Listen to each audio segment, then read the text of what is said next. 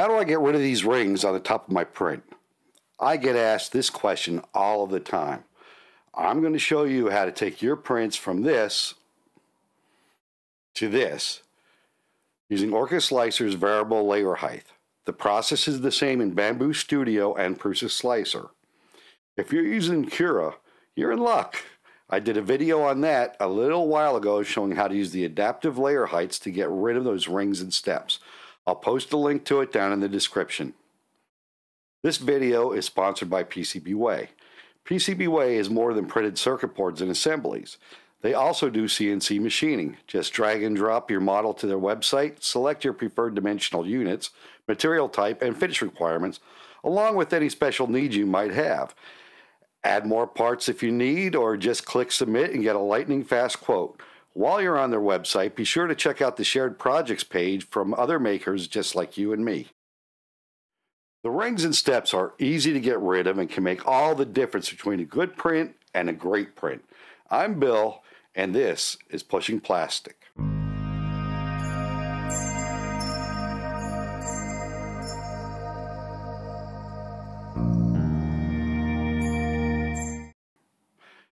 I have Orca Slicer fired up, so let's just get started. Okay, so I have this chess piece loaded up. The first thing I wanted to look at is my layer heights. And I'm going to do that by coming up and clicking on the machine settings. And we'll go to extruder. And we see that our layer height limits are 0.08 for the minimum and 0.32 for the maximum. Normally the maximum I like to keep at 0.28, but I'm going to leave it where it's at for this video. We'll close that out. And I'm going to go ahead and we'll slice this up and see what we get time-wise. Okay, we're looking at an hour and 24 minutes. Let's go ahead and print this and see our results. So we have our finished chess piece, and you can see a lot of the rings and steps up on the top here, and also down in this Okay, so we saw results on our first print. So let's go try to clean this model up a little bit. Let's click on the model, and we're going to come up here to our toolbar at the top, and we're going to click the one with all the little lines on it. That's your variable layer height. Give that a click, and the first thing we notice is this nice little dialog box. Taking a look at the adaptive button, we got quality and speed. Now, the closer we move this slider to the quality side, the better our print will look. The more we move it to the speed side, the faster it's going to print. Now we're going to start with 0.5.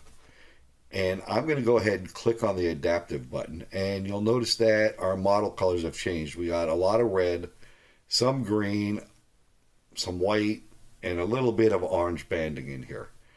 Now, on the right side of the screen, you'll also notice the same colors.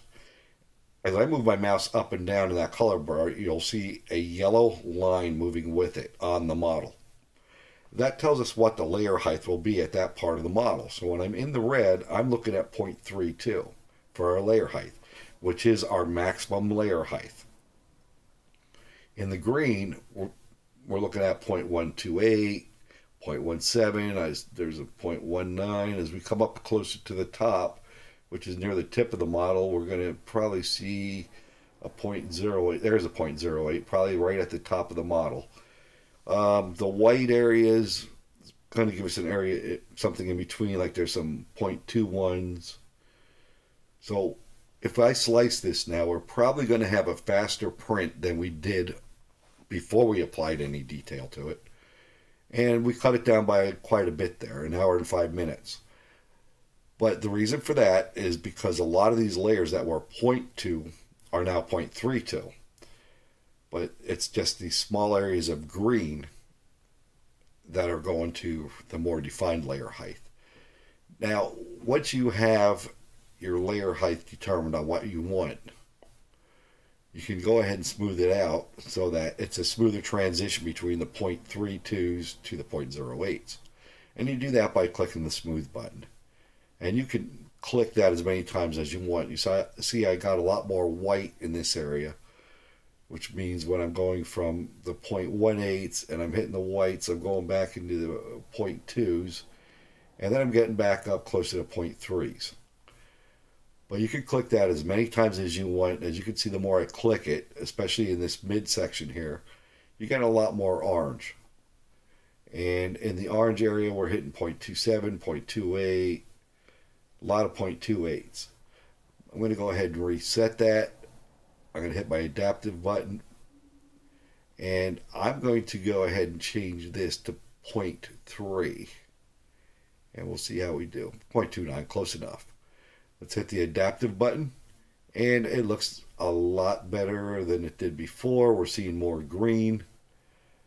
Um, we can smooth that out again by clicking as many times as you want, but I think you're going to see a pretty rough transition from here in the red right to that orange. And you can find that out by seeing what you got there. We're going from 0.32.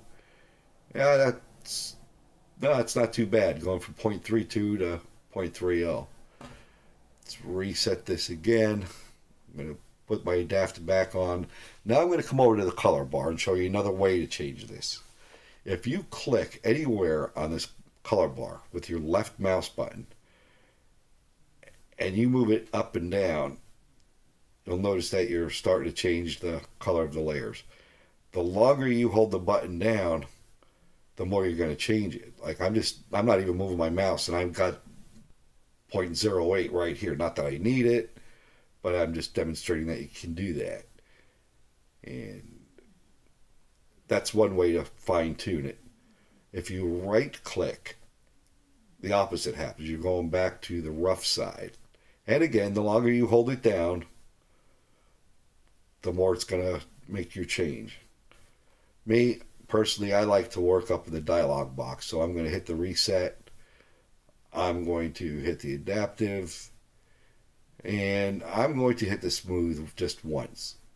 Now, the keep minimum if I check that box, when I hit the smooth, what that does is anything that's 0.8, since that is our minimum layer height, will stay at 0.8. It's not going to try to change to something else. I usually leave that unchecked. Let's go ahead and give this a print and see how it comes out. Over here, we have the version where we did not apply the variable layer height. You can see all the rings. Come down here in the front. And this one was with the uh, variable layer height turned on. And you can see how it's a little bit smoother. We still have a little bit up here. Not much at all here on this top part. You can see the difference it's making. You can use this to help out with all kinds of models. Anything from anything dome shaped like helmets or even articulating octopus. I hope you found this information useful. If you did, hit that like button and let me know down in the comments. Be sure to smash that bell so you'll be alerted to new content in the future. Live your life one layer at a time, and if you haven't done it yet, please consider subscribing.